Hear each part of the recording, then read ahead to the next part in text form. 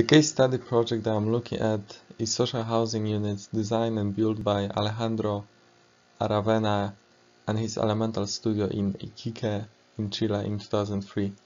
Iquique is positioned in the north coast part of the country. It has a radical coastal climate as the city has a desert from the east with its hot temperatures and dry air coming from the inland. The building loads are live loads such as people, rain, and wind coming from either the sea or the desert side. The self-weight of the building is being carried by its concrete reinforced structure and is being pushed against by soil, earth that keeps the building from sinking. The structure form is section active and that means that the building is mostly using forces in section.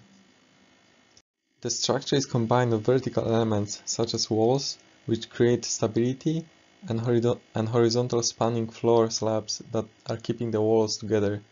Floors are creating the stability moments, while the foundations in the ground are the stab stabilizing element.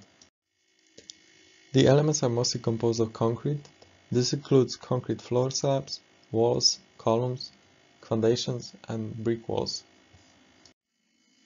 Materials that are being used in the structure are concrete, steel, and timber with majority of it being concrete, either in the form of concrete blocks or poured elements. In terms of vertical load path, all the vertical loads from the floors are being directed to the walls, all those forces compounding together at the ground foundation level are being pushed against by earth.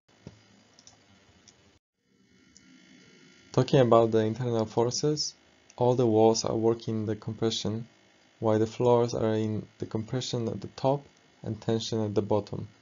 The ground floor slab is being compressed upwards by the air resistance. The deflected shape of the structure will look like this. All the floors except the ground slab will bend downwards while the ground slab will be pushed up. The walls in the compression will bend outwards of the structure being pushed and compressed by the floor load. In terms of stability system, we have a concrete-based structure keeping the main load of, of both the existing as well as the potential extension of the house built in the future. This structure includes concrete floor slabs that span the structure together and there are shear walls built with concrete bricks that are giving the stability to the structure against strong winds and side forces. In terms of span to depth ratio of key elements, the wooden beam has a span to depth ratio of 14.2, while the concrete support column has a height to depth ratio equal to 9.08. The structural moment that makes this building very uncommon is a concrete reinforced base structure that is load carrying not only the planned and built part of the house, but also the extension that will be created by its inhabitants in the future.